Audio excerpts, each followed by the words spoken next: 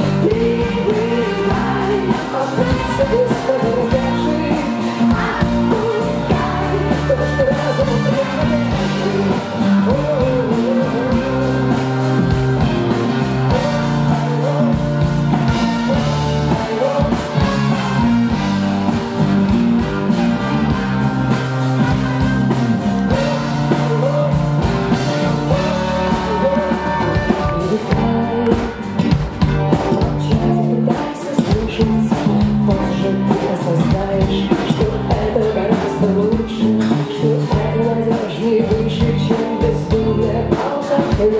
Привыкай находить тишину внутри себя, просто знай, никогда ничего не